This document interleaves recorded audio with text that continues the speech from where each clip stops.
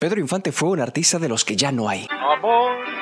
Amor sagrado. Y no solo hablo de su calidez vocal, sino de su riqueza interpretativa y actoral. A día de hoy la gente sigue consumiendo sus películas y sus canciones. No en vano le pusieron el apelativo de Pedro Infante el Inmortal. Y en este video vamos a decodificar aquellas cosas que lo hicieron grande y único. Así que si buscabas un canal con contenido de música y canto, lo encontraste. Aprovecha en suscribirte y darle like para estar al tanto de todos los videos que te ayudarán con tu formación musical. Y empezamos con todo, porque les haré una pregunta que solo sabrán responder los conocedores de Pedro Infante. Con solo una imagen tendrán que decirme el nombre de la película. ¿Están listos? ¿Cuál es el nombre de esta película de Pedro Infante? Es un clásico de clásicos. Si lo sabes, escribe en los comentarios la respuesta correcta antes de que te ganen. Al final del video diré la respuesta correcta a ver si acertaste. En este video Pepperoni estará algo indispuesto, ya que lo dejó la novia. Mozo, sírvame otro jugo de zanahoria. ¿Están listos para conocer las técnicas artísticas del gran Pedro Infante? Pues bienvenidos a las noches de Dorian y empecemos.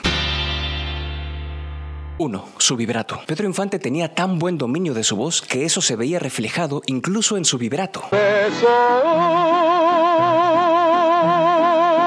Y es que no era un vibrato cualquiera, era un vibrato muy uniforme. No era un vibrato tieso como borrego electrocutado de los que hace Pepperoni. Ahora no estoy para bromas, Lolian. Mozo, deme otra botella. Y para el estilo que hacía, caía a pelo de bien, porque terminaba de vestir sus canciones con esa estela de romance y calma.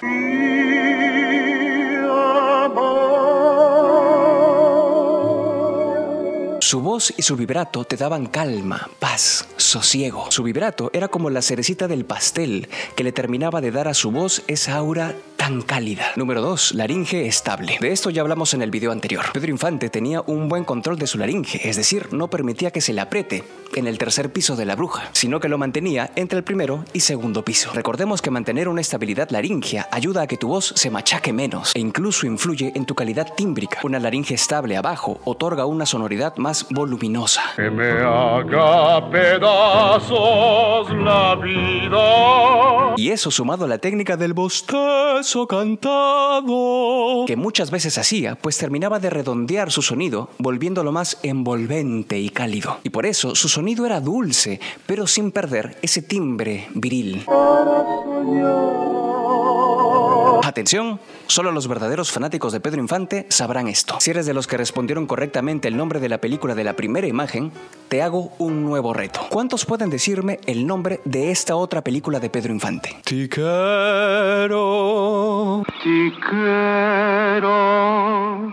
más que a mis ojos. Voy a leer en los comentarios cuántos son capaces de responder correctamente antes de que yo diga la respuesta correcta. Número 3. El grito alarido. Este sonido fue característico de Pedro Infante.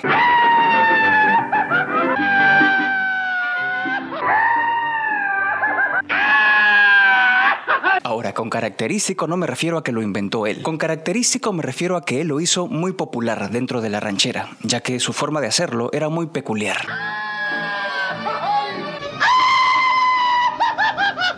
Tengo entendido que estos gritos ya se hacían de antes. Me gustaría que los amigos de México pudieran confirmarnos esta información, por favor. Ahora, los gritos como alaridos se daban antiguamente dependiendo la zona o el lugar. Como ejemplo, hay un chiste clasiquísimo. Pepperoni, ¿tú sabes cómo llaman los vaqueros a su hija? No, ¿cómo? Pues, ¡hija! Muy bueno, muy bueno. Sí, bueno, no te ríes porque solo es para inteligentes. En fin, esos gritos que salen en las películas gringas antiguas del lejano oeste, del vaquero con su caballo y su soga, pues la música ranchera mexicana también tenía sus gritos característicos, no tanto como hija, sino más como un alarido al estilo... Me da risa porque en el video intenté hacer el grito y no me salió. y dijo, ¡Ay! Está horrible. Que fíjate que todos los mexicanos les sale eso, aunque, aunque no canten.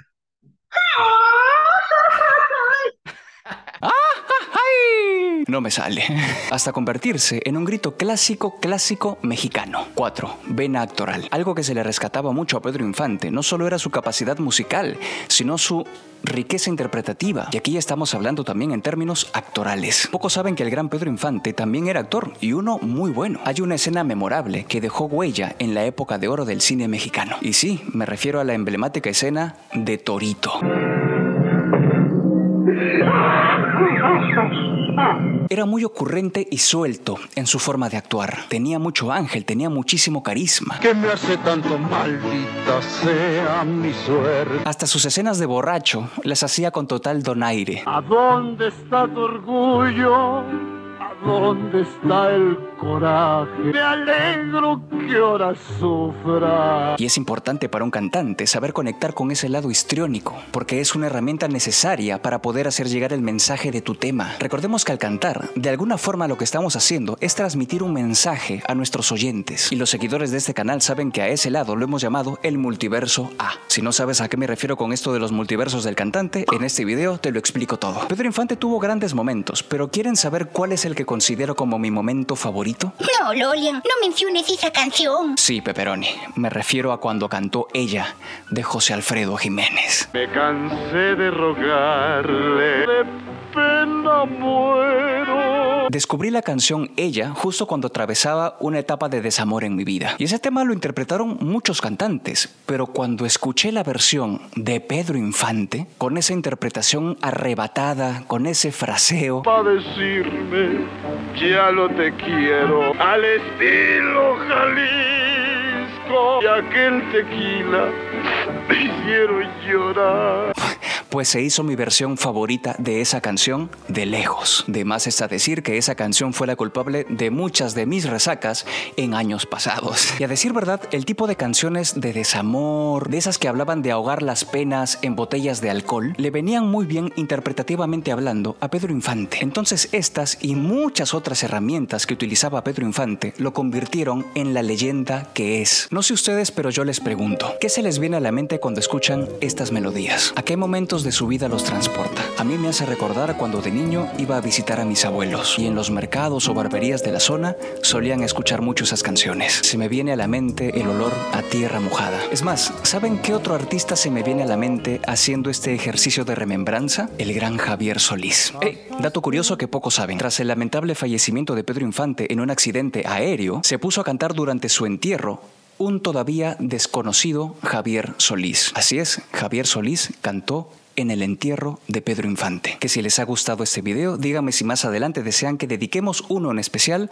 al rey del bolero ranchero, el gran Javier Solís. Pedro Infante fue, es y será una leyenda inmortal. Y no solo por su arte, sino por su calidad de persona. En internet hay innumerables historias de lo dadivoso, humano y humilde que era. Mucha gente cuenta que le gustaba ayudar a los demás. Y bueno, por fin aquí vienen las respuestas que estaban esperando. ¿Cuáles eran los nombres de las películas de las imágenes que les mostré? El nombre correcto de la primera película es Angelitos Negros, un clásico de clásicos, una película con una temática muy seria y chocante para la época. Y el nombre de la segunda película es Tizoc, que en esta película Pedro actuó con la gran María Félix. Esta mujer fue la inspiración de muchos cantores de la época. Fue pareja de Jorge Negrete e incluso el mismísimo Juan Gabriel le dedicó una canción en especial.